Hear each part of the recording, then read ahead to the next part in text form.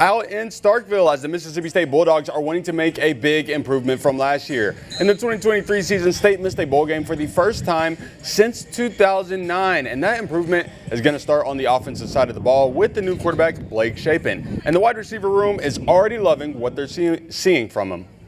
Oh, Blake's my dog, man. I think Blake's a hell of a quarterback. I don't know if I can say that, but I think he's a great quarterback. Um, he could he could definitely throw the pill. So that I mean, he could read defense, throw the pill, kind of scrappy, not afraid to run, get dirty when he has to. So, I mean, that's everything you want in a quarterback. Sure, you know, for for JMO and those guys, you know, to do their thing, I got to do mine. Um, you know, I got to know my job cold for for them to to be able to go out and do what they want to do and, and do the you know whatever they want to do, whatever their goals may be. You know, it's my job to be the best that I can be, so I can help them reach them, reach those goals.